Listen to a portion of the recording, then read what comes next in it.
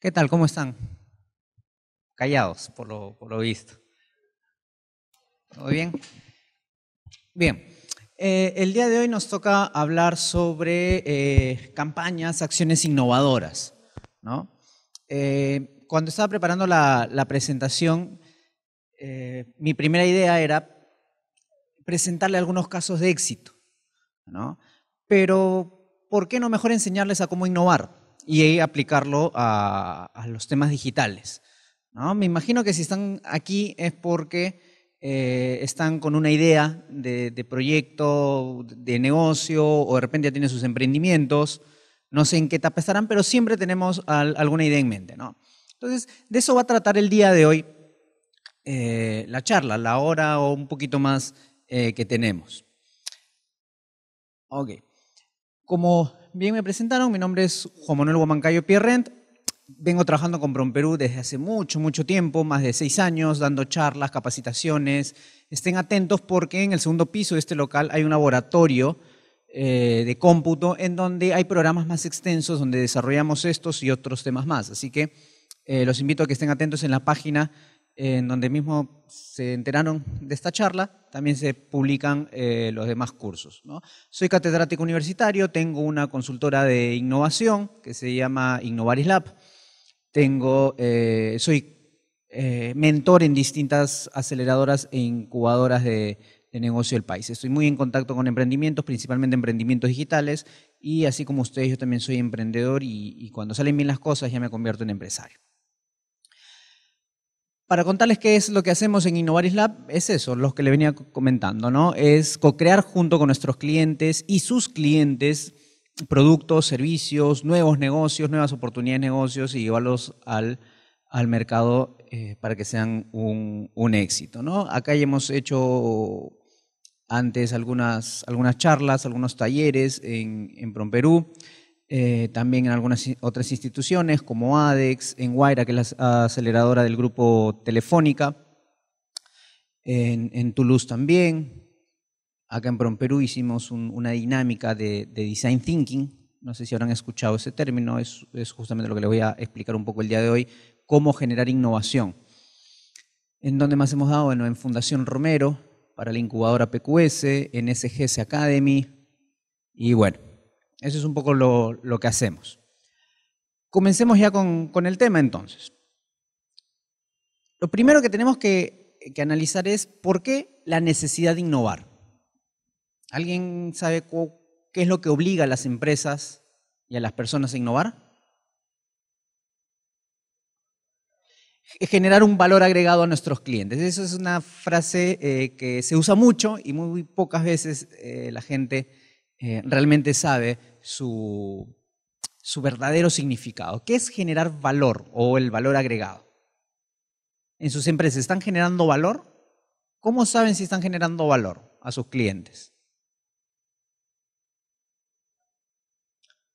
Diferenciándote de la competencia. ¿no? En realidad, cuando nosotros vamos a comprar un producto o adquirir un servicio, estamos pagando por algo que nos genera valor porque nos están solucionando alguna forma una necesidad o un problema. ¿De qué forma estamos solucionando ese problema? Si generamos valor, entonces nuestro cliente siempre debería estar dispuesto a, pagarnos. Entonces hay que ponernos a, analizar aquello. ¿no? El problema de las empresas, y acá voy a chocar un poco con el pensamiento tradicional que tenemos, las empresas tienen poco tiempo para planificar, para ejecutar, eh, para analizar resultados y hasta tenemos poco tiempo eh, para equivocarnos. ¿no? Tenemos poco dinero también para lanzar un nuevo producto, para crear nuevos productos. ¿no? Y lo que afecta más aún a las empresas es que vivimos en un mercado ágil. Lo que sale en el mercado el día de hoy, de repente en un año ya no sirve, porque salió otra cosa. Hablando más en temas, en productos tecnológicos, en servicios relacionados a tecnología o por consecuencia de la tecnología. Bien, entonces lo que nos han enseñado a nosotros desde, desde la universidad es hacer un plan de negocio. ¿Le han enseñado a ustedes a hacer un plan de negocio? ¿Sí? Ok. ¿Quién de ustedes ha desarrollado un plan de negocio alguna vez? ¿Sí? Ok, ¿quiénes de ustedes que han hecho un plan de negocio realmente le ha servido? No sirve un plan de negocio. No sirve un plan de negocio. No, han estafado toda nuestra vida. No sé si estafado, ¿no? Pero en realidad no sirve el plan de negocio. Primero, porque no somos unos expertos haciendo planes de negocio. Sin embargo, no, mandamos a hacer un plan de negocio. Bien. ¿Cuánto tiempo aquellos que hicieron un plan de negocio les tomó desarrollar ese plan? No ejecutarlo, ¿eh? Desarrollar, redactarlo, armarlo, este documento de 80, 100, 200 páginas. ¿Cuánto tiempo les tomó? Un buen tiempito. Y eso que no le dedicas a tiempo completo, sino lo podrías hacer quizás más corto. Pero ¿en cuánto tiempo? ¿Cuatro meses, seis meses, tres meses, lo más pronto? ¿No? Ok. Y en muchos de los casos, cuando tú haces ese plan de negocio real, con toda la información posible, entre comillas, te das cuenta que al final el resultado es que no es viable el negocio. Muchas veces pasa. te tomaste todo este tiempo y eh, la conclusión del documento es que tu idea de negocio no es viable. Hablando indicadores financieros, ¿no? No es viable. ¿Qué es lo que hacemos? Le damos vuelta, maquillamos unos números, ampliamos el mercado, ¿no? etcétera, y por consecuencia ahora sí es viable. Claro, no te vas a meter en un negocio que no es viable. Ahora, ¿quién de ustedes es un experto al mismo tiempo en, marketing, en operaciones, en finanzas, en logística, para hacer un plan de negocio solo? Nadie. Al final ejecutas ese plan y los resultados no son los esperados, ¿no? Ok. Entonces, el plan de negocio no funciona por eso por algunas razones. Primero, porque ninguno de nosotros es experto haciendo planes de negocio. Segundo, porque muchas veces no tenemos los datos exactos. Tercero, porque un plan de negocio abarca más de nuestro conocimiento, más áreas de lo que nosotros dominamos. ¿Bien? Y cuarto, porque el mercado cambia constantemente. De repente tú tienes datos de hace un año, el tiempo que te demora en, en hacer el plan de negocio, año y medio, y a la hora que sale tu producto al mercado, ¿qué pasa? ya cambió el mercado, los consumidores cambiaron sus hábitos, sus gustos, sus preferencias de compra. Bien, entonces, ante eso, sacamos esta conclusión. El problema es que tenemos poco tiempo, poco dinero y un mercado ágil. ¿Qué debemos hacer? Bueno, ya que los planes de negocio no, no funcionan, y para mí nunca han funcionado, Salvo si tú quieres documentar y armar un plan de negocio de un negocio que ya viene funcionando, documentar las mejores prácticas, ahí sí es una, una muy buena herramienta. Pero para un emprendimiento no. El emprendimiento tiene varias hipótesis. Primero es, no sé si ustedes habrán seguido este, tema, este, este ciclo o estas etapas. Cuando tienen un emprendimiento, lo primero que se plantean es, el problema o la necesidad del consumidor. Deberíamos comenzar por ahí, ¿no? No sé si lo habrán ustedes analizado hoy. Bueno, a partir del problema, que es una hipótesis, tú tienes que validar que realmente exista ese... Tienes que validar de que existe el problema o la necesidad. Luego tú ya tienes en mente un producto o un servicio para satisfacer esa necesidad, para solucionar ese problema. ¿Cierto? Esa también es una hipótesis que tú te estás planteando. A ver si les va a gustar esa solución o no. La lanzas al mercado. Imagínense si, si hiciéramos un plan de negocio para lanzar y validar estas hipótesis, ¿cuánto tiempo nos tomaría? ¿Seis meses? ¿Un año? Para comprobar de que finalmente hemos creado un producto que nadie quiere. ¿Qué pasaría si yo les planteo una solución que en una semana, en dos semanas, ustedes pueden validar esas hipótesis. Y que encima con poco dinero. Ahí ya cambia la figura. Por eso es que los emprendimientos ahora tienen que validar estas hipótesis del problema y de la solución lo más pronto posible. ¿Bien? Y en e-commerce es lo mismo. ¿Sí? No te vas a lanzar a hacer una campaña, mm, invertir dos mil dólares en Facebook, ¿no? Hacer una campaña innovadora, creativa, según tú. De repente tienes muchos clics, muchas vistas de esa campaña en Facebook, pero nadie termina comprando tu producto. Ahí no estoy siendo innovador. ¿no? Estoy usando una herramienta de forma eficaz, pero no estoy logrando la conversión, no estoy logrando el impacto que yo quiero en mi producto en el mercado. no me sirve de nada.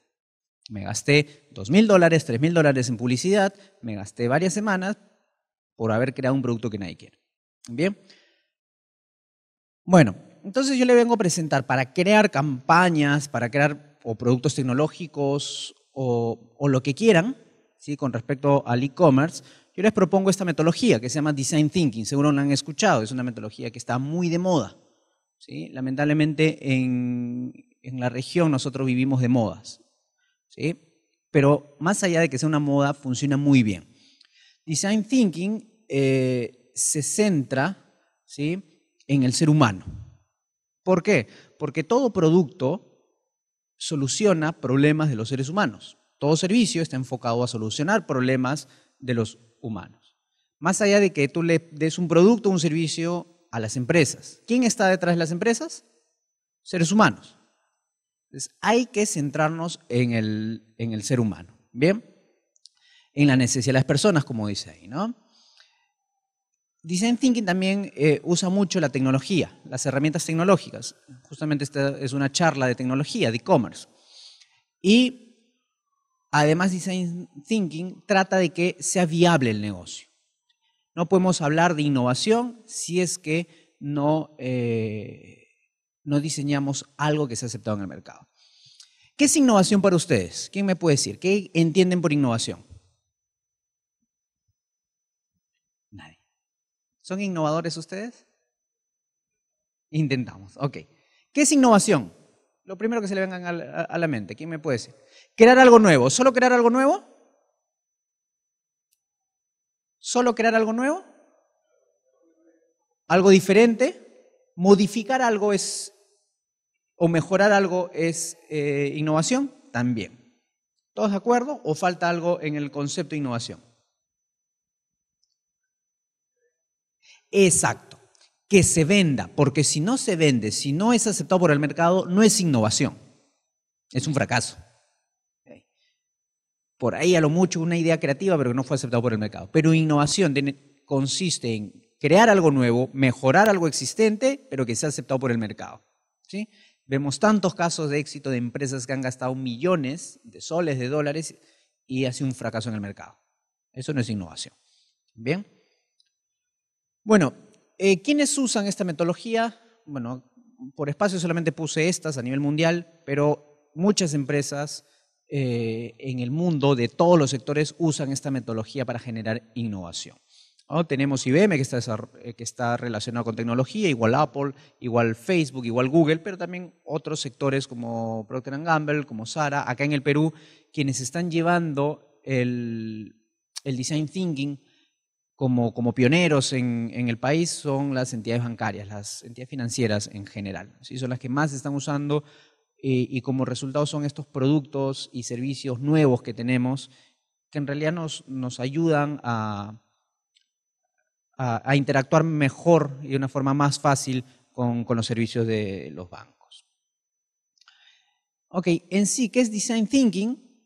Eh, bueno, es una metodología para generar innovación y se puede aplicar en cualquier campo. ¿Por qué? Porque la innovación parte del concepto de solucionar el problema de las personas.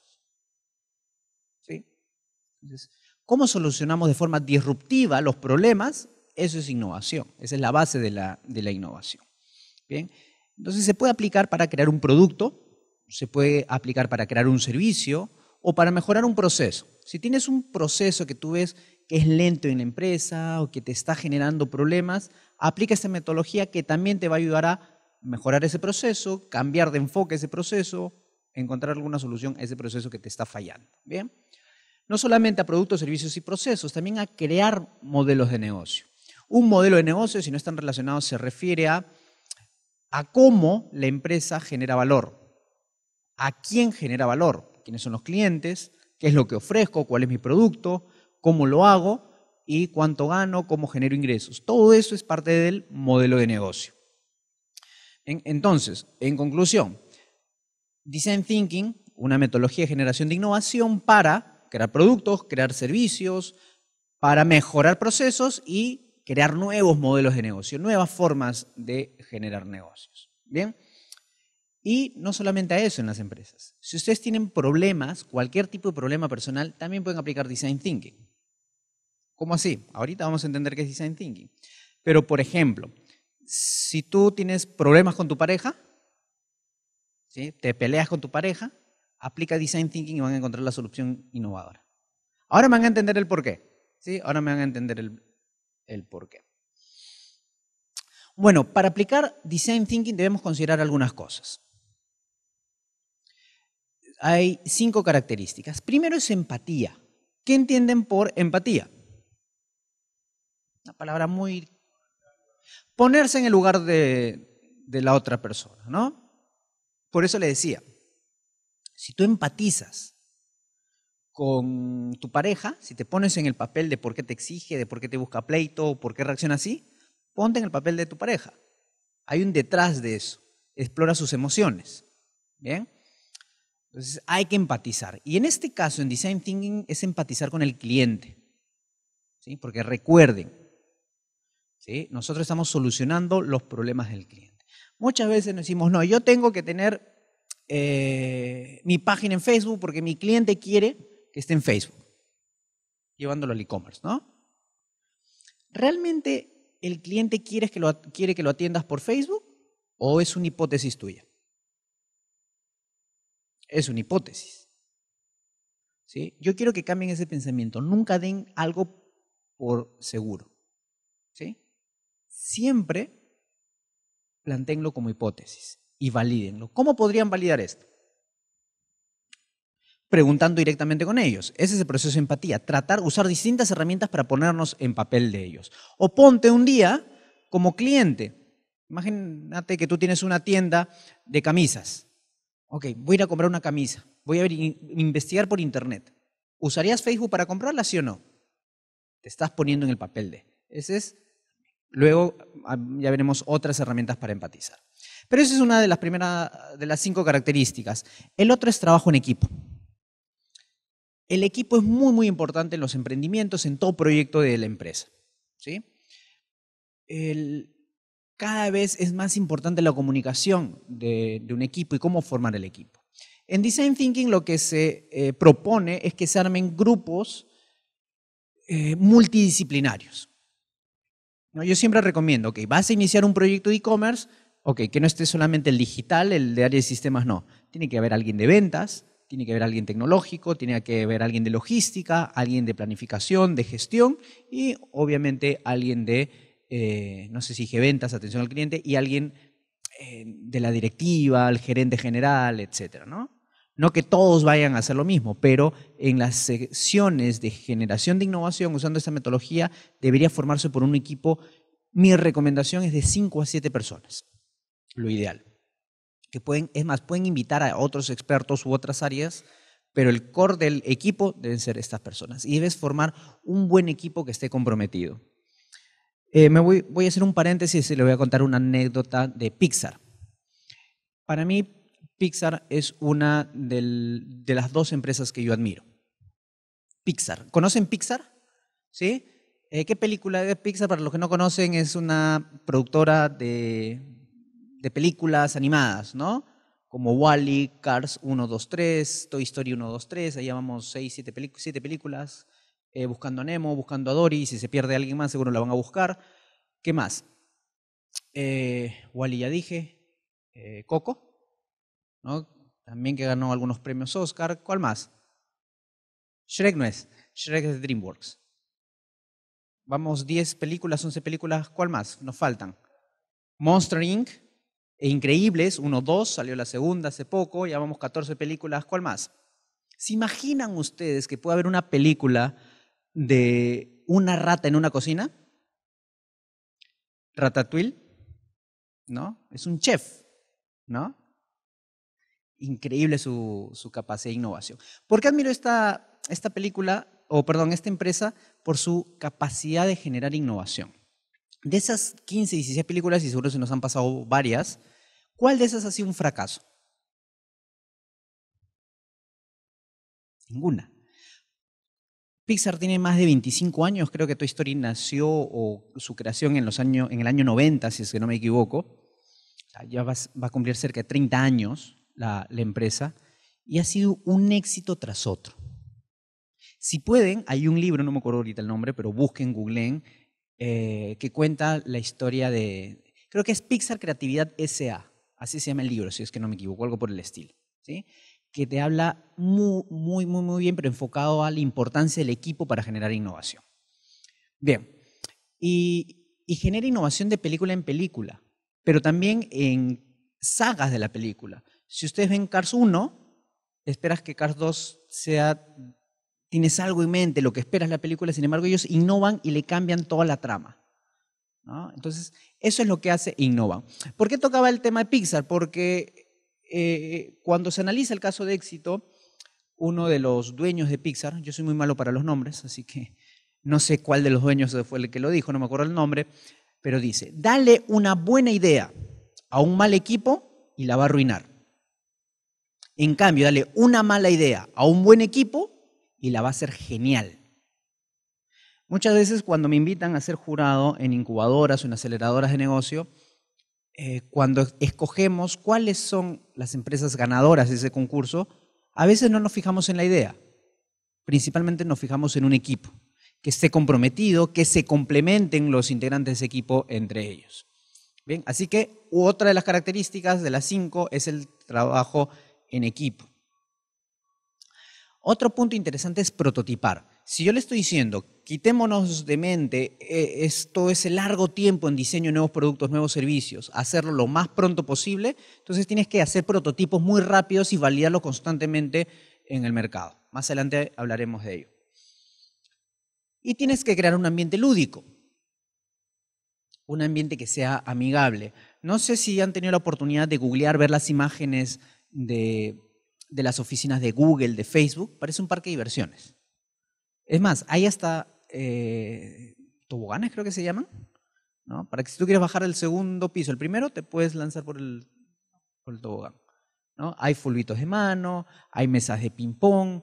Eh, eh, no, hay, no hay oficinas, todo es un espacio abierto, ¿no? tienes café gratis, etc. Eso dirán, ah, es un relajo, ahí nadie va a trabajar y van a ir a jugar. Bueno, si tú escoges bien el equipo, el equipo sí va a trabajar. Claro, si no sabes escoger, si no sabes crear un equipo comprometido con el proyecto, eh, obviamente van a hacer cualquier cosa y con tantas distracciones peor. Pero si tú armas un buen equipo comprometido con la idea, con el proyecto, eh, van a usar más bien estos elementos para inspirarse a, ser más creativos. Y recuerden que la creatividad es la base de la innovación. Y tienes que usar mucho el contenido visual, ¿sí? muchas pizarras, eh, muchos posits, plumones, o si no tienes pizarras, venden unos rollos donde puedes jalar el rollo, pegarlo a la pared y escribir sobre esos rollos de, papel. ¿sí? Es muy difícil, es más, yo les aseguro que de la charla del día de hoy, a los días no se van a acordar ni el 10%, se acordarán los headlights, ¿no? las cosas más importantes, los, títulos o algo. Si yo tuviera acá una pizarra gigantesca, como esta, les haría un dibujo, les iría explicando a través de un dibujo, se les quedaría más rápida la información, porque está comprobado científicamente que el cerebro responde mejor a los, eh, a los elementos visuales. Bien, con respecto a las fases de Design Thinking, son cinco. ¿sí? Aunque en realidad eh, los creadores de Design Thinking, que no les he dicho cuál es, es la consultora norteamericana que se llama IDEO o IDEO. ¿sí? IDEO ellos crearon eh, esta metodología con estas cinco fases. Eh, se hizo masivo a partir de que IDEO eh, trabajó de la mano con la escuela de diseño de Stanford, D-School se llama la, escuela de, de, diseño, y con esto ya masificaron esta metodología a nivel mundial. Actualmente IDEO tiene oficinas en Europa, en Estados Unidos, en distintos estados y en Asia. Es, como le dije, la principal empresa de generación de innovación. Muchos de los productos que hemos escuchado o ahora usamos nacen eh, en los laboratorios de IDEO. Seguro no habían escuchado esa empresa, pero si les digo Microsoft, le digo yo IBM, le dijo el mismo Apple, Reebok, Nike, esas sí conocen. Imaginen, estas grandes empresas con productos muy innovadores, cuando se quedan sin ideas, llaman a IDEO para que les ayuden a crear un nuevo producto. ¿Bien?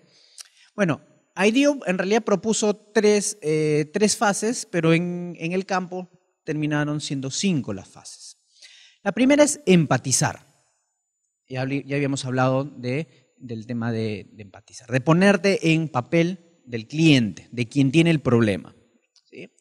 Luego hablamos de eh, analizar toda esta información que eh, recibimos de los clientes para que recién en la tercera fase comencemos el proceso de ideación. Generar cuanto mayor cantidad de ideas tenemos para solucionar un problema, más chances tenemos de que esa idea realmente sea la disruptiva.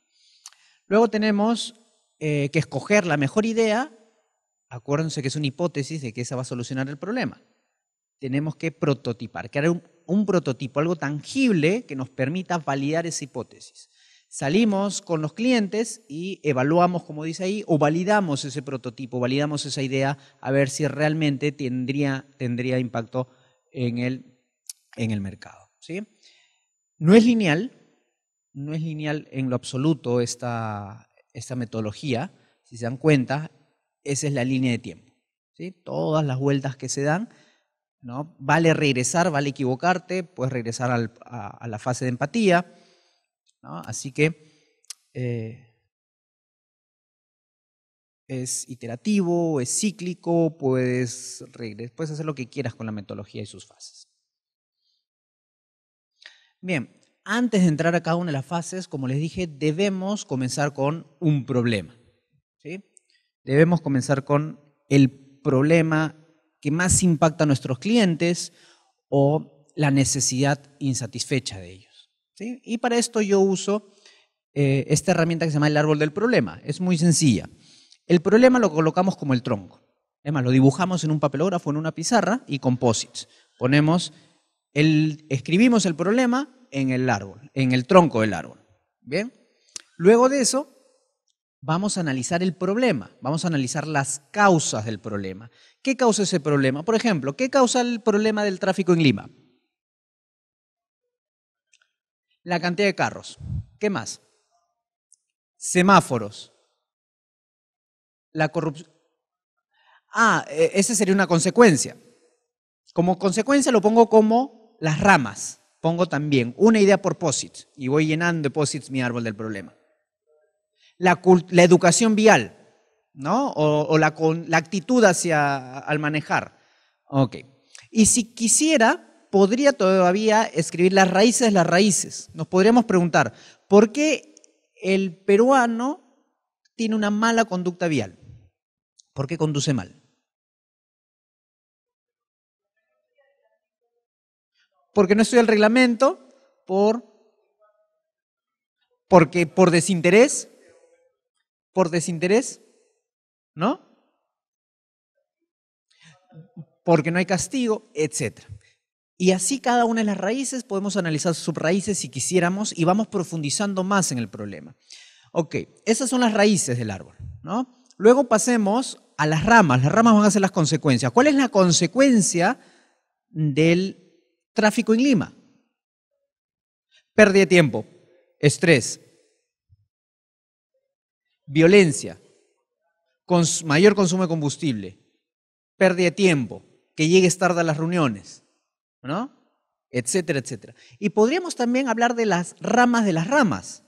Por ejemplo, tomemos una de las consecuencias.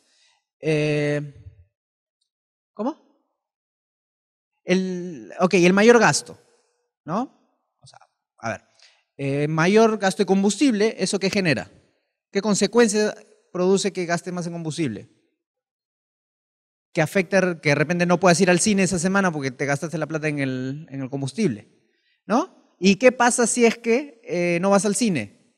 Te quedas estresado porque necesitas horas de ocio, ¿no? ¿Y qué pasa si estás estresado? Te peleas con tu esposa. ¿Qué pasa si te peleas con tu esposa? Ok, entonces podemos hacer varias cosas, podemos seguir profundizando en el... ¿Y todo por qué? Por el bendito tráfico de Lima, ¿no? Ok. Creo que sí me entendieron el, problema, ¿no? Ok. ¿Quiénes de ustedes está dispuesto a ponerse en, los zapatos del otro? Eso es empatizar, ¿no?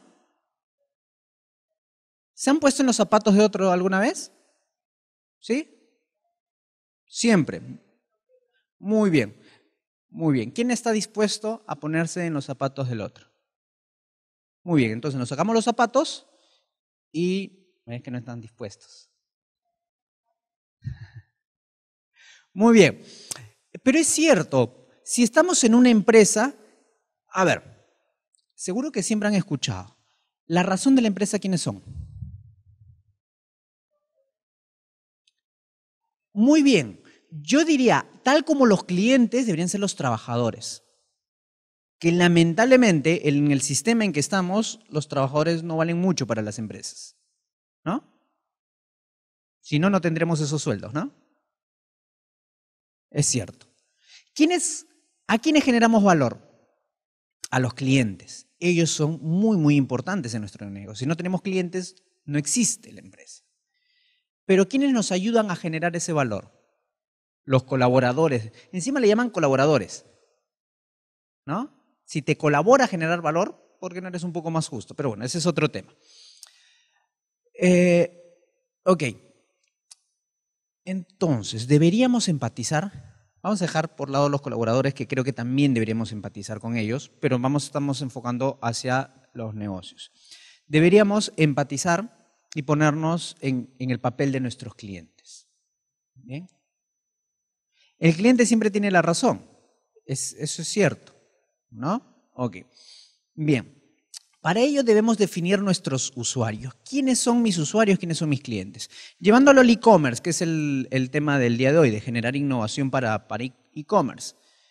¿Quiénes son nuestros usuarios? Los que usan el producto. A ver, hay que tener cuidado, porque muchas veces si nosotros venimos de un negocio tradicional y vamos a extender con un nuevo canal, una tienda online o usar las herramientas digitales, no siempre es el mismo usuario.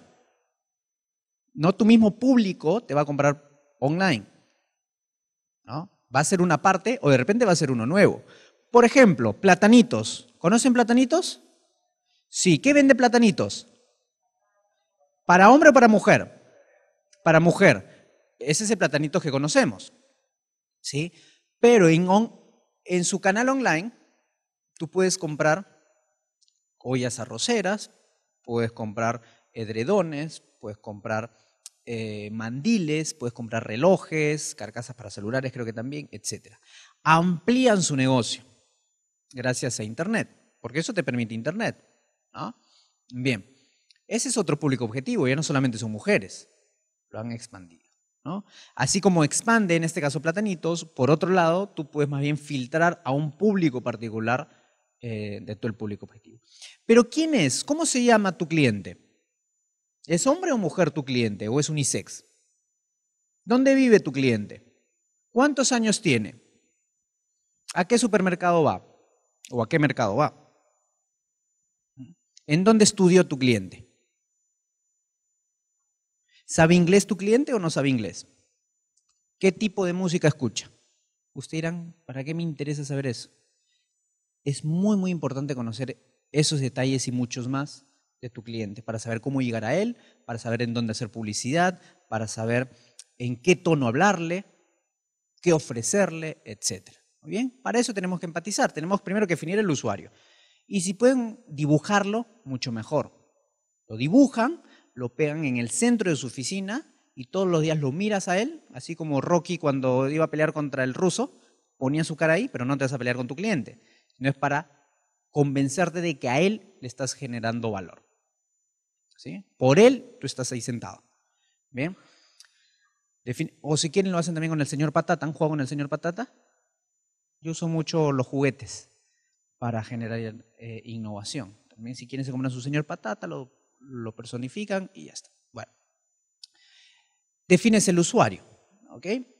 Ahora, estamos creando un prototipo de usuario, ¿no? Un perfil de usuario, un estándar del usuario. Bien. Pero no deberíamos olvidarnos de los extremos. ¿A qué se refieren extremos? Y voy a usar un, ejemplo que me dieron cuando me certifiqué en esta metodología eh, por IDEO. Bien, ellos usaron este ejemplo.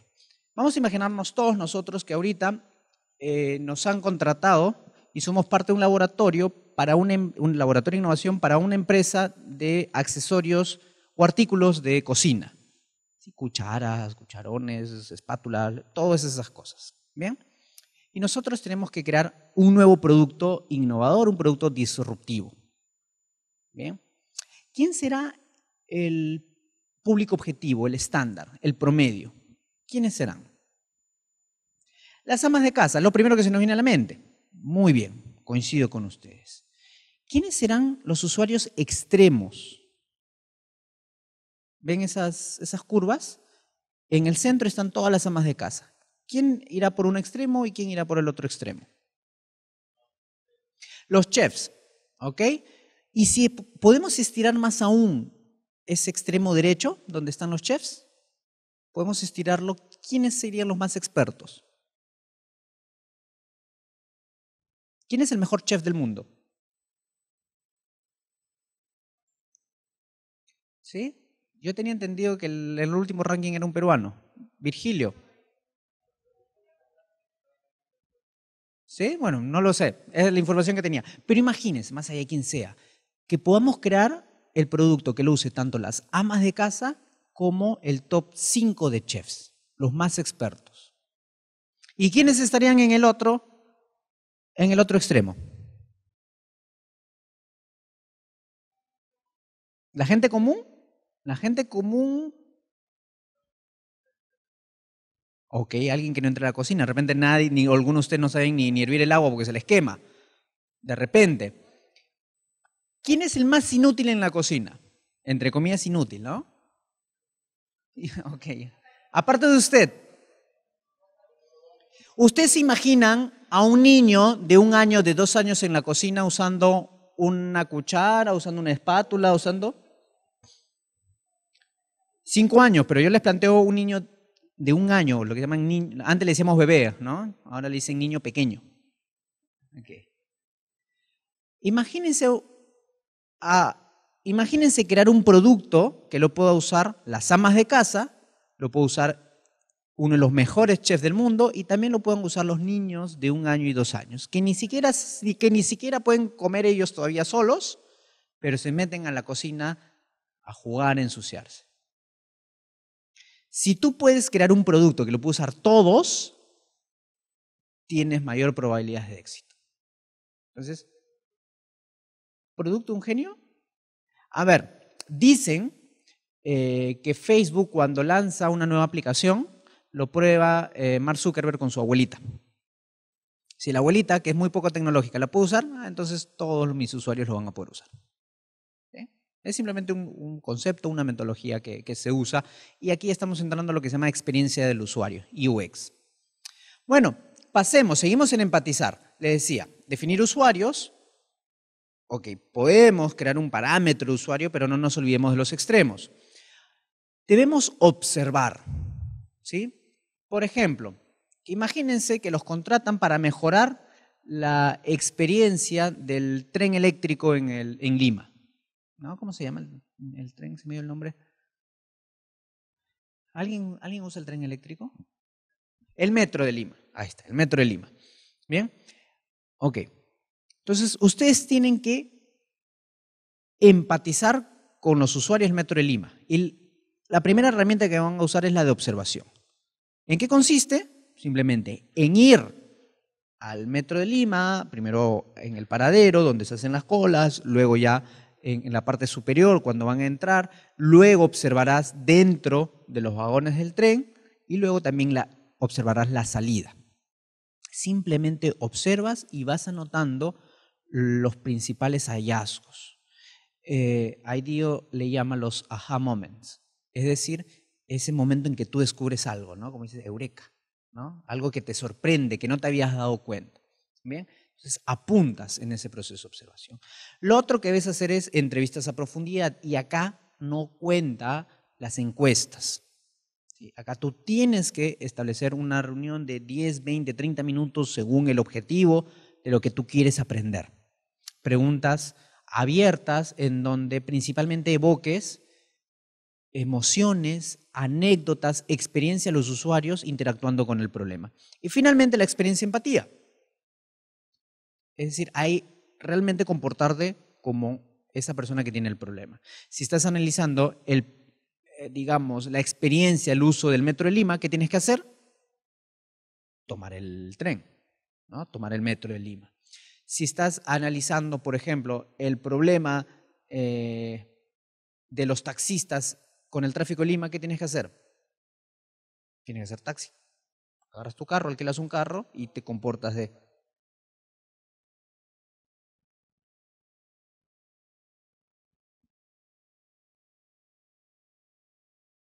Ideo, ideo.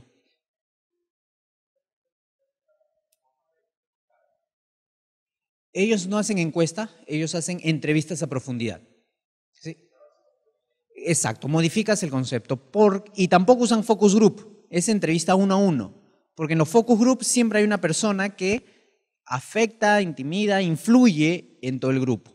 Mejor es entrevistar uno por uno, pero sobre todo, como les digo, es evocar las emociones, evocar las, eh, las experiencias de la gente. ¿Por qué emociones? Porque recuerden que el producto debe satisfacer o solucionar un problema. Y en esa interacción con el problema el usuario tiene un montón de emociones. Y no recuerden nada más qué pasa cuando se quedan sin internet en casa.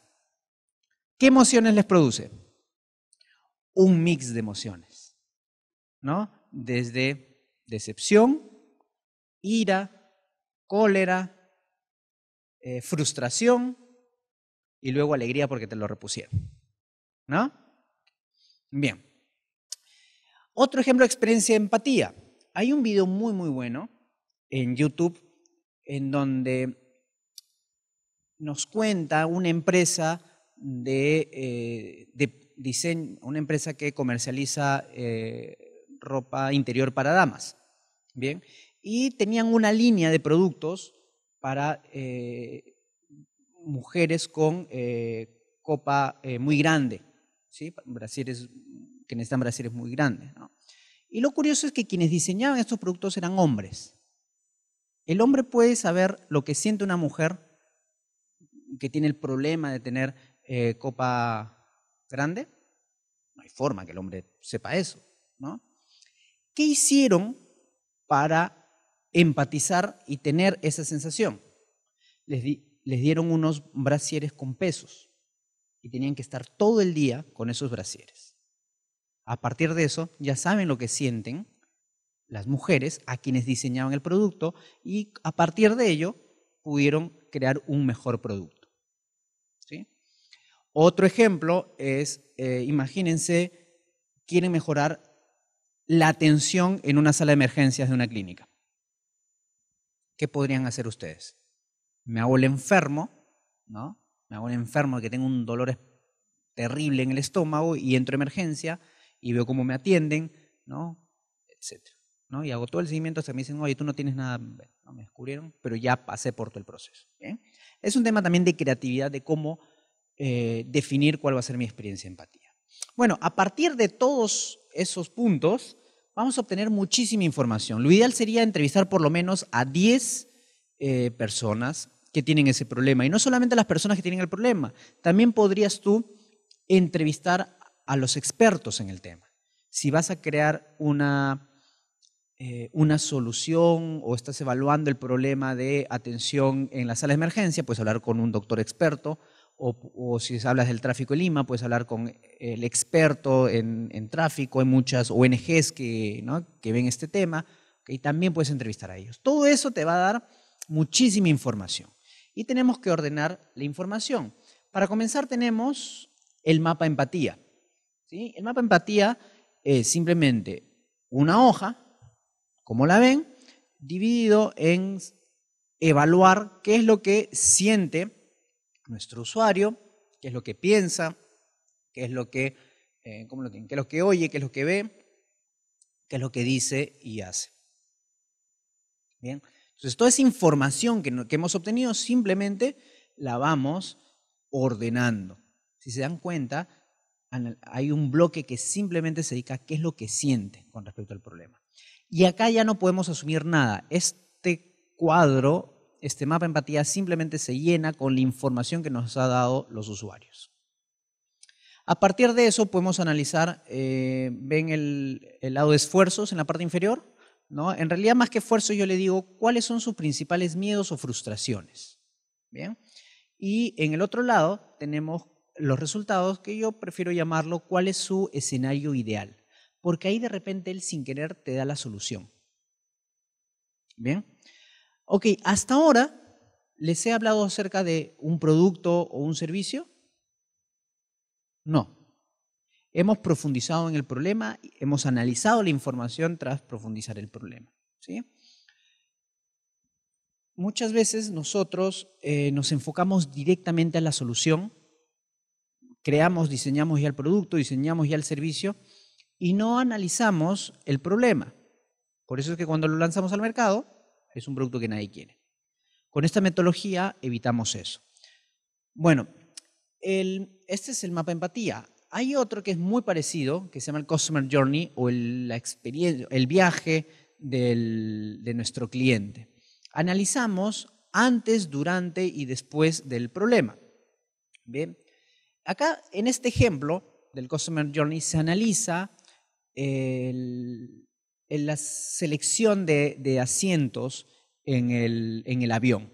¿sí? Los que han viajado en avión, los que suelen viajar en avión, eh, cada uno tiene una preferencia en los asientos. Algunos preferirán eh, en la ventanilla ¿no? para ver el paisaje, otros más bien prefieren en el pasadizo por mayor comodidad, o adelante o atrás, cada uno tiene sus experiencias o sus preferencias. Bueno, entonces, antes del problema, ¿Cómo se pone en contacto, cómo interactúa con el problema? Bueno, primero, el, cliente, en este caso, a través del canal online de la aerolínea, compra los pasajes. Esa es la actividad. ¿Sí? Ahí está, ahí está feliz, ahí está eh, con mucha ansiedad ya por su viaje. ¿ok? Bueno, hay oportunidad de mejora, quizás puede haber, pero no se ha identificado en el gráfico. También antes del problema, eh, otro punto de contacto es el tráfico, trasladarse al aeropuerto. Según donde vives, puede ser una hora, hasta dos horas llegar al aeropuerto Jorge Chávez, en este caso. Bien. Ahí está sufriendo, está preocupado que de repente no va a llegar a la hora, eh, ¿no? de repente se le va el avión o ya no le dejan ingresar porque está muy pegado al tiempo de salida. Oportunidad de mejora, buscar una forma de un traslado más rápido y más cómodo. Durante el problema llega al aeropuerto Jorge Chávez y eh, tiene que identificar el counter. ¿no? Como cambia constantemente el aeropuerto, ahora no sabe dónde quedan los counters, no sabe por dónde entrar, si por la puerta del medio, de un extremo, ya está mareado, ¿no? y la oportunidad mejor ahí es una óptima señalización ¿no? de cómo llegar a hacer el check-in. Otro otro punto de contacto es el counter. Ya identifica, llega al, counter y la actividad que va a hacer ahí es seleccionar el asiento. La experiencia es negativa o algo porque el asiento que quería ya no hay, lo mandan al último, al último lugar, al costado del baño. ¿Sí? Y la oportunidad mejor es que el usuario mismo lo pueda hacer. Este sería un ejemplo antes de que tú tengas la aplicación y que la aplicación hagas el check-in. Después, el punto de contacto es el avión, ya estando en el avión, en el vuelo, y está triste porque no está disfrutando del, vuelo por una ubicación que no es la apropiada para él. Claro, después ya llega a su destino y ya se olvidará, ¿no? pero le va a volver a pasar lo mismo al regreso.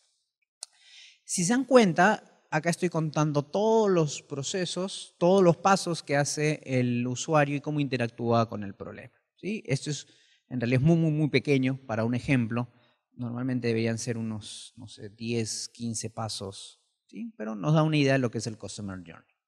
Y también, si se han dado cuenta, nos enfocamos también en la experiencia del, cliente, ¿no? en sus emociones, y acá lo hemos representado de una forma eh, gráfica.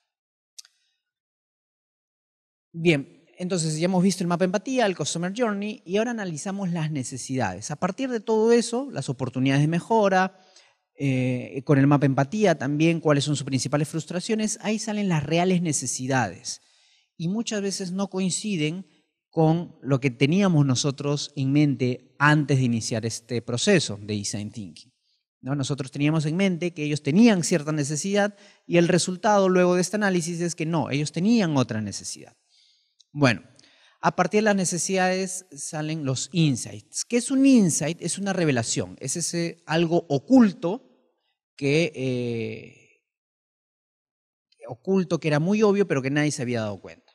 Como por ejemplo, Sprite la marca de gaseosas Sprite en Argentina usa comerciales partiéndose de, un insight, las cosas como son. ¿no? Ese es un insight, las cosas como son. Otro insight que usa para, para sus comerciales es algo que seguro ustedes lo saben, pero nunca se habían dado cuenta. El amor te vuelve idiota. ¿O no? Ahí he visto algunas sonrisas. ¿El amor te vuelve idiota o no? Recuerden todas las tonterías que hemos hecho cuando hemos estado enamorados. ¿No? Ok. Busquen en, YouTube el, video de Sprite El amor te vuelve idiota. ¿no? Y ahí es un comercial muy, muy divertido. Pero eso es, es un insight. ¿Sí? Por ejemplo, el insight que yo usé en el proyecto cuando me certifiqué, eh, te dan para escoger distintos temas para que desarrolles a lo largo. Yo escogí el reto o el problema de eh, cómo hacer para que los padres y los hijos lean más juntos. Es una problemática que me parece real, me identifiqué de cierta forma. Entonces, desarrollé todos estos pasos y cuando llegué al insight, hace poco yo había escuchado de que si tú haces 21 días seguidos algo, se crea un hábito en tu cerebro y está comprobado científicamente. Si tú te levantas siempre tarde, 21 días seguidos, te levantas temprano, se queda un hábito y ya te vas a levantar temprano siempre. Según los científicos, y yo lo comprobé. Entonces, el insight que yo creé fue el siguiente. Disfruta de leer con tu hijo 21, primero 21 días seguidos y luego de por vida. Ese fue el insight que yo creé para solucionar ese problema.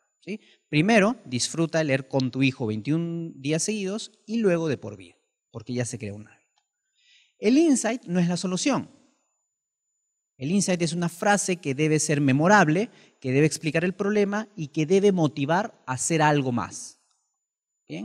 Hacer algo más es justamente la siguiente etapa. A partir del insight nos debe motivar para el proceso de ideación. Y aunque no lo crean, la, la mejor herramienta para este proceso es el brainstorming o la lluvia de ideas. Seguro en algún momento lo han usado, nos las han enseñado desde el colegio, en universidades y en, distintos cursos. Primero de forma individual, acuérdense que estamos trabajando en, equipos, y hacemos una lluvia de, ideas, le damos 5 o 10 minutos y anotamos una idea por POSIT. Una idea por POSIT. Las vamos pegando sobre nuestro escritorio, pasados los 5 o 10 minutos, cada uno comparte las ideas de solución al problema eh, motivados por el INSE. Luego vamos agrupando las, las ideas, acá me faltó. Luego de las ideas las podemos ir agrupando, podemos crear tres grupos. Por ejemplo, hablábamos del tráfico de Lima. ¿Cómo solucionarían ustedes el tráfico de Lima? Lo vamos a agrupar en tres ideas, en tres grupos, perdón, de ideas. El primero, ideas comunes, ¿sí? las que, por ejemplo, es eh, crear más carreteras. Okay. Es común, solucionar el problema, pero es común. ¿no? Okay.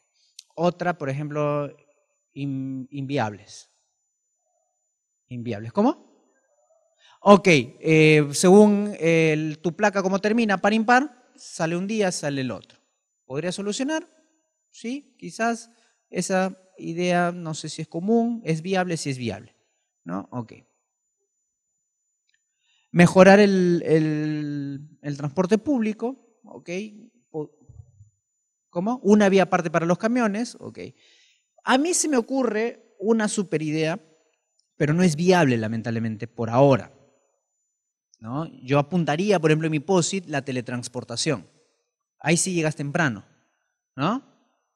¿Soluciona el problema del tráfico? Sí, pero no es viable, pues, ¿no? Aún no. Entonces, esas ideas las agrupamos en las ideas inviables. Pero habrán otras ideas que la podemos decir, por ejemplo, las ideas locas. ¿no? que es una idea disruptiva, algo fuera de lo común. Y solamente nos vamos a enfocar en esas ideas disruptivas, fuera de lo común, y finalmente las vamos a priorizar usando este cuadrito acá. Dos variables. En el eje Y, el impacto de esta idea, de esta solución con respecto al problema. ¿Sí? ¿Qué tanto impacta en el problema? ¿Qué tanto soluciona el problema? Y en el eje X, ¿qué tan fácil es implementar? Entonces, nosotros nos enfocaremos en, en las ideas que terminen por este lado, que sean las más fáciles de implementar y las que tengan un mayor impacto en el problema. ¿Bien? Una vez que tenemos la idea, tenemos que hacer prototipos. ¿Sí? Prototipos de baja calidad primero. ¿Para qué vas a crear el producto si no sabes si realmente está solucionando el problema? ¿No? Además, lo puedes hacer en una presentación de PowerPoint, puedes hacer si es una idea de, un, de una aplicación, como lo ven ahí los dibujos, y con eso sales a la calle y lo vas a validar. ¿Bien? Así es simple. Estamos hablando primero de un prototipo de baja calidad y luego de un prototipo eh, de alta calidad. Con el prototipo, lo que vamos a hacer es salir a la calle con nuestros clientes o hacia donde nuestros clientes, presentar el prototipo y, y validar, ¿no? Y Ahí tenemos distintas iteraciones. Primero tienes que escribir la solución que has ideado, qué supuestos deben ser ciertos para que tu idea sea validada, si usarían el producto, si pagarían por el producto. Es decir, tú vas a ir validando ciertas hipótesis. ¿Cómo lo vas a validar? ¿A través de qué tipo de prototipo? Eh, ¿Qué resultados has tenido? ¿Y cuál es tu decisión? ¿A qué se refiere cuál es tu decisión? ¿Qué pasa si el prototipo es rechazado? ¿Abandonas el proyecto y te vas? No. ¿Qué deberías hacer? Chau, esa idea no funcionó, tenía otras, muchas ideas más. Imagínense que tengan cinco personas en el equipo y que cada uno aporte 20 ideas locas, disruptivas. Tienes hasta 100 ideas que puedes ir probando. Eso se llama pivotear, ¿sí? cambiar de dirección con tu solución. ¿no? O de repente eh, no es necesario pivotear, pero sí hacer algunos cambios. Haces esos cambios, creas un nuevo prototipo y lo vuelves a validar. Llevémoslo al e-commerce. ¿Sí? Eh, la solución para generar más ventas es eh, poner una tienda en Facebook. Esa es tu idea. ¿sí? Imagínense que es rechazada. ¿Qué haces? Tomas la siguiente idea y de repente era poner un blog hablar sobre mi producto a través, eh, en el mismo blog, incorporar un video de YouTube ¿no? y colocar el botón de comprar. Esa era mi segunda idea, válido. ¿no? Y, me, y, me, dicen, eh, lo válido y el resultado es que les gusta, pero que el video es de mala calidad. ¿Qué hago? ¿Pivoteo? No, mejoro el video. Y así voy probando las ideas. Muy bien. y como dice ahí, ¿qué he aprendido en este experimento? Eso es importante, ¿no? Nos pasamos mucho tiempo eh, diseñando un producto, creando la campaña de lanzamiento, analizamos dos, tres meses del resultado y al final fue un fracaso. Hemos pasado seis meses, nueve meses eh, y aprendimos recién que nuestro producto no es aceptado en el mercado. Ese proceso de aprendizaje lo podemos hacer en un mes, en dos semanas, sí lo podemos hacer con esta metodología.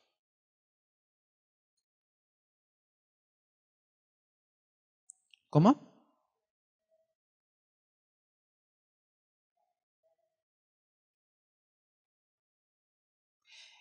Claro, por eso es que cada, cada hipótesis que tú te planteas tiene como objetivo aprender algo. Sí, exacto. Exacto. Tú vas, el objetivo de, esta metodología es reducir ese tiempo de aprendizaje. Las empresas tradicionales, conocer o aprender uno de estos temas que se plantean, les toma mucho tiempo, meses. Entonces, ¿cómo podemos reducir ese tiempo? Con esta y otras metodologías que también les voy a, les voy a presentar. La siguiente, acá cierra Design Thinking, ¿sí? el proceso de validación. Y es cíclico y no es lineal. Recuerden que pueden regresar a cualquiera de las etapas. ¿sí?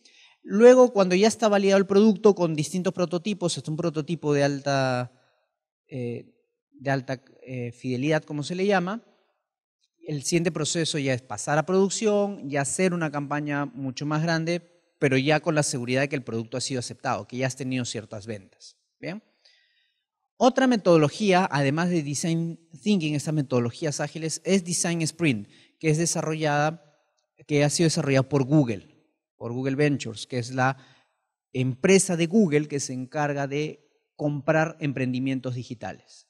Google, una línea de negocios, comprar empresas tecnológicas que están saliendo para usar la tecnología o en todo caso para luego revenderla, etc. Bien ellos son mucho más eh, arriesgados, mucho más intensos en su metodología. Ellos simplemente dan una semana, dan una semana para validar estas hipótesis, eh, en una semana tener un producto en el mercado. Como ven, en el primer día hacen un mapa. ¿Se acuerdan el Customer Journey o el mapa empatía? Ok, la idea es diseñar eso. El día lunes lo que hacen es eh, definir cuál es el problema, cuál es el reto de esa semana, hacen eh, de una forma visual cómo interactúa el usuario con el problema. ¿sí?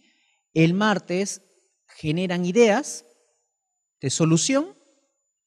El miércoles deciden cuál va a ser la solución que van a lanzar en el mercado.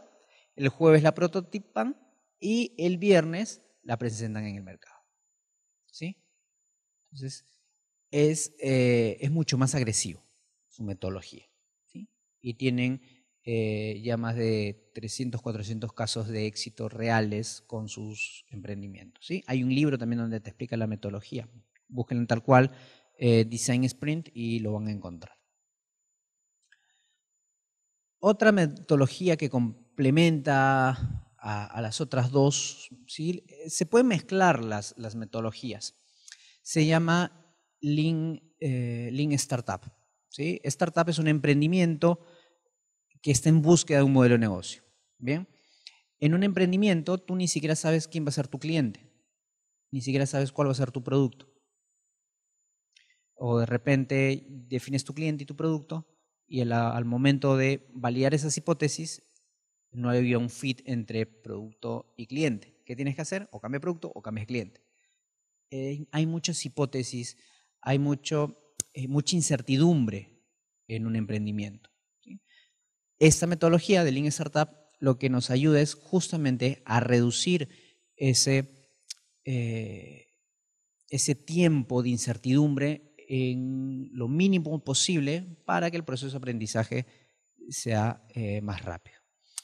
Ok, ante una hipótesis, ¿sí?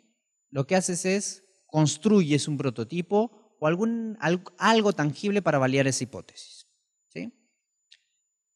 Por ejemplo, por ejemplo, ¿cómo validarían ustedes eh, que el producto que tienen en mente puede ser aceptado por el mercado? Sin diseñar el producto. Por medio de una encuesta podría ser, ¿qué otra forma? Imagínense, voy a crear esta billetera, quiero, quiero importar esta billetera de aquí y venderla a través de Internet. ¿Sí? Cada billetera me cuesta que llegue acá a Lima desde Europa 30 eh, dólares. ¿sí? Y, el y la cantidad mínima del que el proveedor me exige para que haga la importación es de mil. O sea, voy a invertir ¿cuánto? 30 mil dólares. Se van a lanzar al, mercado a crear su, tienda online. ¿Cómo?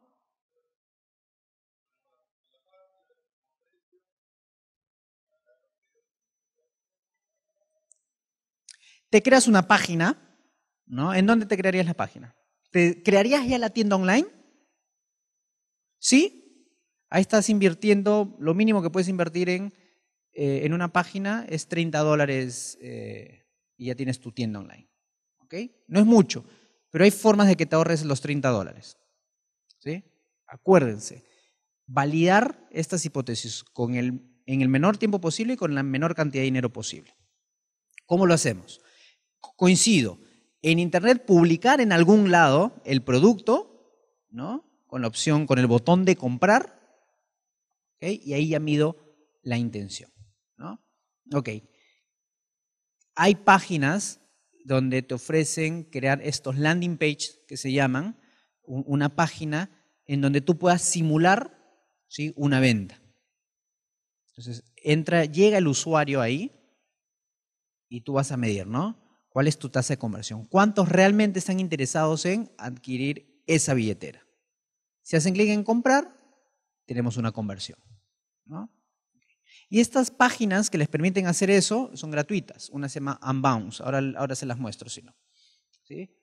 Completamente eh, gratis. Lo diseñas con la misma herramienta de la página, el botón comprar, etc. ¿Qué pasa si le dan clic en comprar el usuario? Te va a salir una pantalla donde dirá, eh, gracias, próximamente tendremos el producto disponible. Te avisaremos cuando ya lo tengamos en stock. Listo. ¿Está bien o, o, alguien se incomodaría por eso? Tampoco no vas a poner el nombre de tu empresa. Es más, ni siquiera piensen en el nombre de la empresa, porque vas a gastar eh, tiempo por gusto. ¿No? Vas a desperdiciar tu esfuerzo pensando en el nombre de la empresa. ¿Para qué? Si todavía ni siquiera sabes si si la empresa va a ir. ¿Bien? Ok, ahí tenía una hipótesis, la he medido y tengo un aprendizaje. ¿Qué pasa si eh, de mil personas que llegaron a esa página ninguna compró? ¿Qué harían? Ese es el aprendizaje, ni una venta, ni un interesado. Lo dejan y ¿qué harían? A la siguiente hipótesis. ¿Cuál es la siguiente hipótesis? De repente otro segmento de cliente. De repente lo había enfocado para hombres ejecutivos. No, vamos a buscar millennials, ¿no? Universitarios. Hago el mismo ejercicio con universitarios. Ahí sí, ahí sí está bien. ¿Sí? Ok. Si quieren comprar o algo, eh, listo. Hipótesis aprobada. Ya tengo el cliente, ya tengo el producto. ¿Qué hago? ¿Cuál sería la siguiente hipótesis?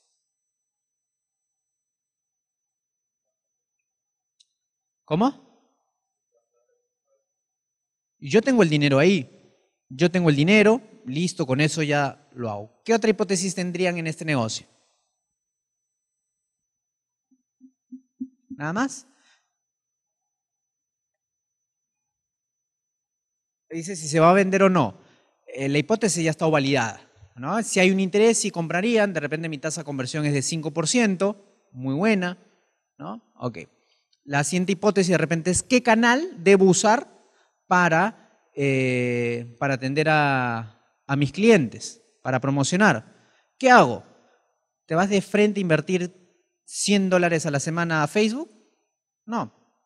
Em, de repente sí puedes usar esos 100 dólares, o quizás menos, en un par de días, tanto para, para Twitter, para Pinterest, para Instagram, para Facebook, a ver cuál te resulta mejor. ¿no?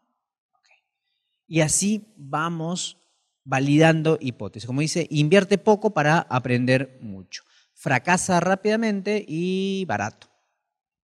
A nosotros, eh, lamentablemente, nos, nos enseñaron ¿sí? en las empresas en que no nos podemos equivocar. ¿No? A ver, anda la empresa, eh, si es que están trabajando para alguien, ¿sí? y equivócate. ¿Qué te va a decir tu jefe? ¿Qué te va a decir tu jefe? Despedido. Eh, si es muy grave, si te despiden. ¿No? Ok. En estas nuevas empresas, con estos nuevos conceptos de desarrollo ágil, de gestión ágil en los negocios, está permitido equivocarte. ¿Sí? Adelante, equivócate, porque es un proceso de aprendizaje. Pero equivócate rápido y con poco dinero, que no me cueste esa equivocación. Mira, si te equivocaste con 50 dólares y descubriste que ese producto no es para ese tipo de cliente, además, hasta te hubiera dado 50 dólares más para que te equivoques. Preferible a que lancemos ese producto, hayamos invertido 50 mil dólares y ahí te hayas equivocado. ¿No? Es cambiar el pensamiento de, gestión de, los negocios. ¿Bien? Bueno, eh, eso es todo. Principalmente queríamos ver cómo generar innovación eh, para el e-commerce a partir de esta metodología Design Thinking, pero les he presentado un, un par más que es Lean Startup y Design Sprint, la de Google. En realidad hay muchas más, pues pueden usar otras herramientas. Eh, antes de mostrarles mis datos de, contacto, eh, quiero mostrarles otras herramientas que usamos en... Ok, ahorita, ahorita te lo muestro. Vamos a ver si, si me permite cargar acá. Para validar eh, por internet campañas, productos, etcétera, yo les recomiendo esta de acá.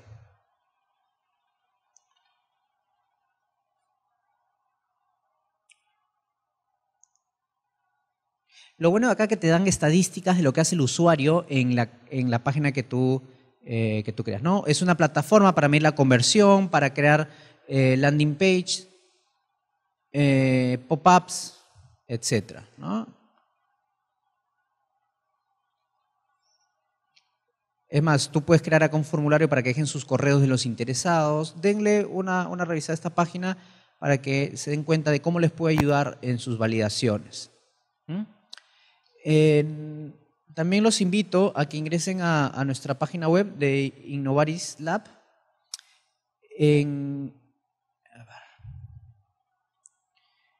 y en el lado del, en la sección del blog van a encontrar un poco la descripción de las, de las herramientas que, que usamos, herramientas ágiles para generar innovación.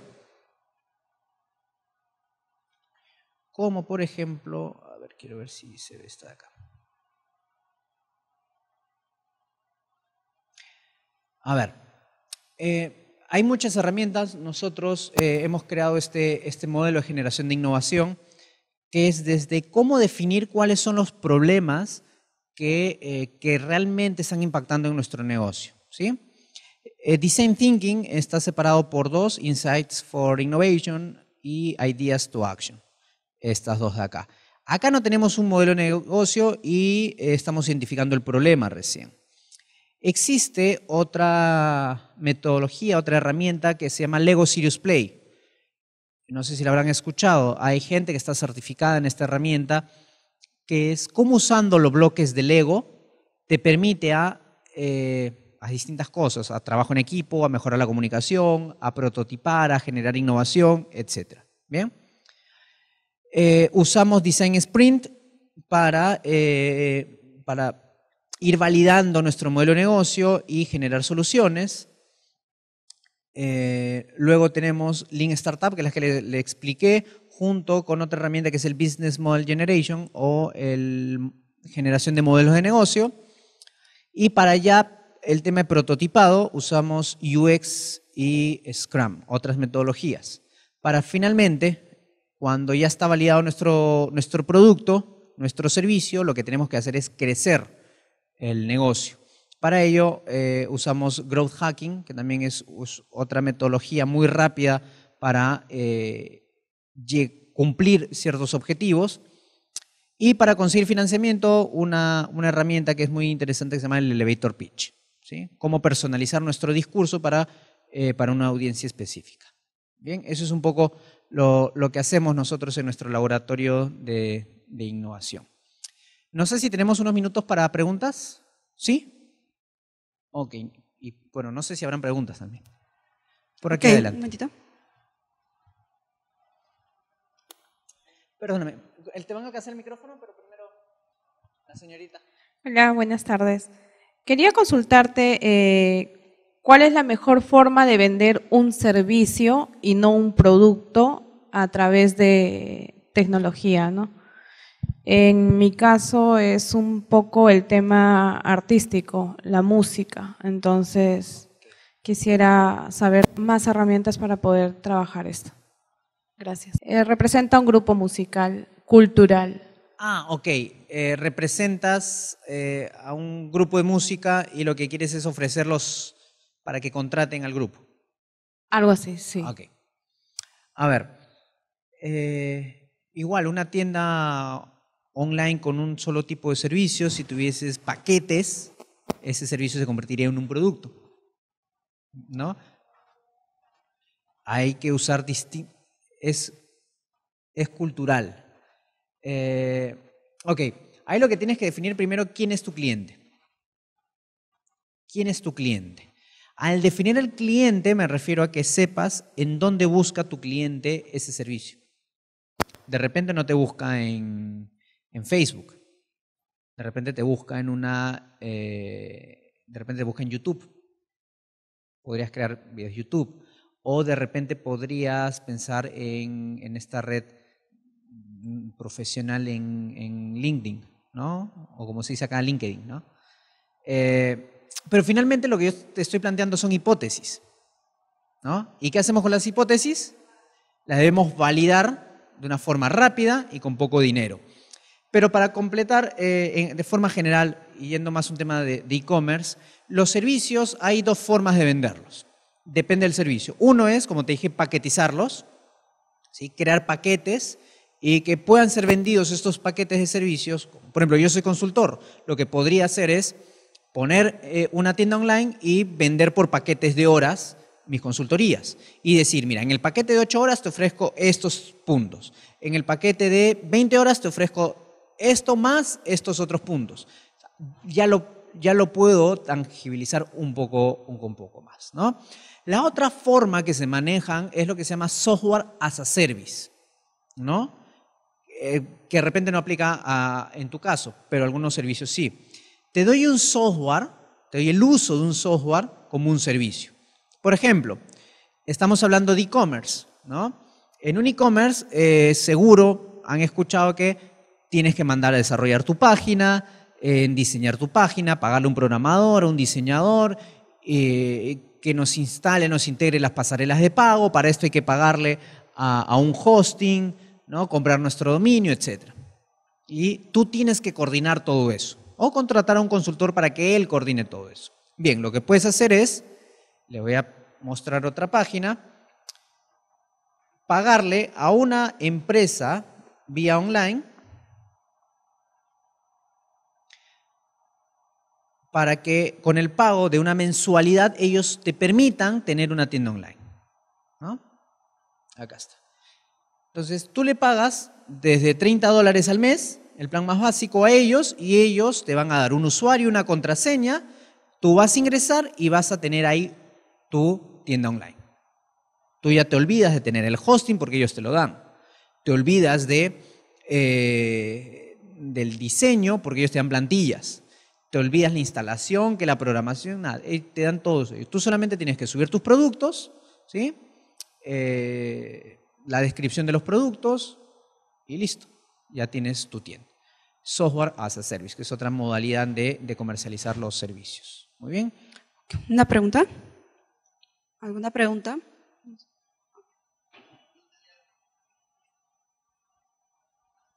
Es, o sea, te escuchaba con mucha atención, me interesa muchísimo el tema de design thinking en general. Y, lo primero que, me viene a la cabeza es quisiera saber si hay casos ya. Hoy leí en gestión que somos probablemente en la región el segundo o tercer país, empezando de abajo, este, menos innovador.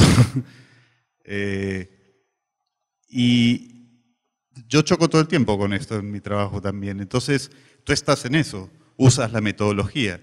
Este, ¿Qué pasa? ¿Por qué realmente nuestros empresarios, para los que nosotros que en general somos pymes, este, y vamos con innovación, ¿por qué siempre somos tan con la mentalidad del commodity? ¿no? O sea, tenemos eh, chocolate, que ahora estamos haciendo ricos chocolates, pero en realidad el 90% de lo que exportamos es cacao crudo. ¿no? Tenemos harina de pescado y la seguimos exportando, pero los chinos nos llenan de tilapia de vuelta.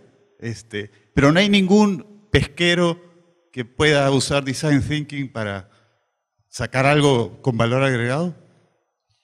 Muy buena tu pregunta y es algo que discutimos mucho. Eh, yo dicto en la UPC, en la Facultad de Negocios, en la carrera de Negocios Internacionales, así que estoy muy, muy relacionado al, ejemplo que dabas. Nosotros principalmente exportamos eh, materia prima. Se procesa en el extranjero y nos devuelven esa materia prima con 30 o 100 veces más el valor de, lo exportado inicialmente. ¿no?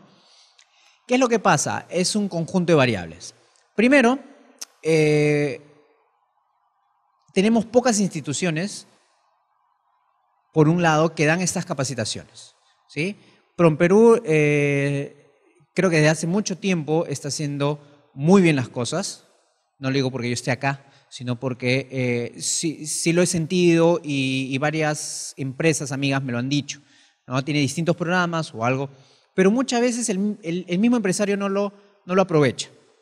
Hay un tema también de las personas que están detrás de las empresas.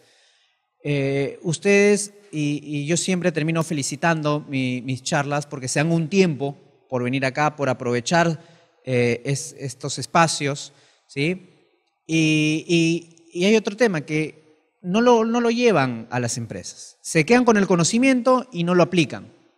Me gustaría reencontrarme con ustedes en las próximas semanas y, decir, y preguntarles, oye, ¿tomaste algo de esa charla y lo aplicaste? ¿Recuerdan ustedes la última vez que se capacitaron en algo? ¿Lo han podido devolver a sus empresas? Hay un tema ahí. O, te pongo otro ejemplo. En el, en el programa eh, que tenemos, eh, que es un programa de gestión de e-commerce, que dura 30 horas, comienzan 30 participantes. Ahora ya están yendo 20. Y seguro la próxima semana que acaba terminarán 15, 16. ¿Y los demás? ¿Por qué no terminaron? A pesar de que hay penalidades en temas de asistencias o algo, hacia las empresas. Eh, pero ese es el interés del, peruano, por un lado. Por otro lado, coincido también contigo que falta un tema de industrialización. Creo yo que faltan los otros sectores del gobierno que promuevan la industrialización, que apoyen en, nuevas tecnologías. Sé que lo están haciendo, pero mi humilde opinión es que deberíamos también eh, invertir aún más, hacer mayores esfuerzos, mayores planes, mayores proyectos para llevar tecnología e innovación a, los demás sectores. ¿no? Y otro problema, creo yo, eh, un par más te voy a mencionar. Con respecto al tema de innovación, el problema en el país también está en que, y lo digo porque lo he visto muy de cerca, alguien lleva un curso eh, o una charla de este tipo y cree que es el experto y lo vuelve a replicar en el otro. Nos falta, acuérdense que el Perú es un país de moda, de modas, ¿no? Entonces una persona que, que no tiene la experiencia ni el conocimiento de algo, por negocio de pronto lo comienza a, enseñar, a dar charlas, a dar consultorías en el tema. También pasa mucho eso. Y eh, un último punto que, que, quería mencionarte, el peruano, eh, por naturaleza, creo yo, es un poco cómodo. No le gusta arriesgarse. Le gusta vivir en su zona de, confort. ¿No? Entonces, ¿cómo? Quizás poco ambicioso, no lo sé, pero creo que hay un tema cultural de nosotros. ¿no? El peruano es muy creativo. Somos muy, muy creativos y eso, como docente, yo lo, lo veo cada vez que, que hay exámenes o trabajos finales eh, no saben todas las respuestas creativas que me dan los alumnos de por qué la tardanza del trabajo o, la calidad del trabajo, ¿no? En realidad somos muy creativos, ¿sí? Pero la creatividad no necesariamente es innovación. Nos falta ese, esa actitud hacia realmente la, la, innovación. Y creo que nosotros los emprendedores, los que estamos aquí, sí tenemos ese chip. Más en las empresas tradicionales les cuesta cambiar esa, esa mentalidad hacia una nueva actitud, ¿no? Bueno, tenemos una pregunta de nuestros usuarios eh, que nos ven en transmisión en vivo. Buenas tardes. Freddy pregunta, inicio exportación de frutos secos, acopio y revendo.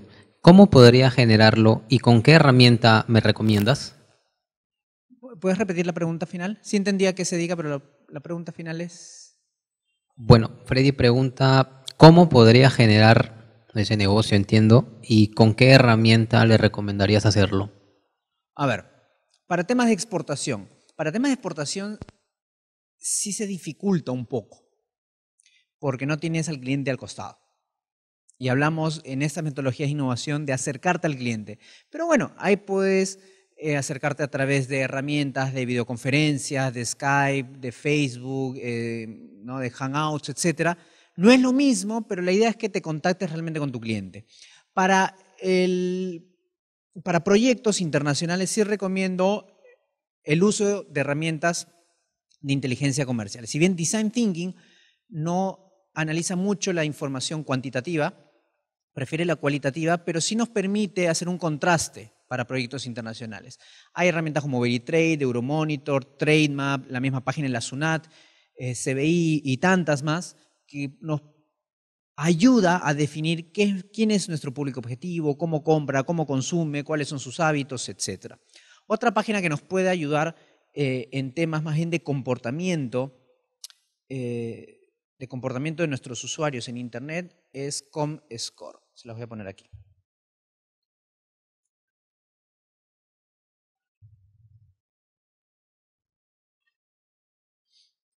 En esta herramienta van a poder eh, encontrar muchos estudios. Si nos vamos al menú a Insights, nos vamos a Presentation and What Papers, vamos a, encontrar todo un listado eh, de, informes, de análisis, de estudios cuantitativos y cualitativos de cómo se comportan los distintos usuarios de todo el mundo en Internet. Cuáles son las redes sociales más usadas, cómo compran, qué canales usan, cómo usan el, mobile, el Internet de las cosas, un sinfín de, de temas. Entonces yo usaría herramienta de inteligencia comercial, usaría estas herramientas, estos estudios de Internet y para eh, ya colocar mi producto en, en, en, el mercado internacional, sí igual recomendaría un espacio propio, una tienda online o simplemente una página, un catálogo para mostrar nuestros productos y usaría estas metodologías ágiles para ir probando cuáles son los mejores canales.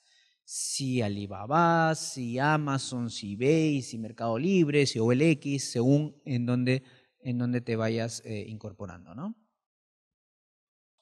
Unbounce es la herramienta que les permite crear páginas ficticias para validar ciertas hipótesis que tenemos en nuestros negocios.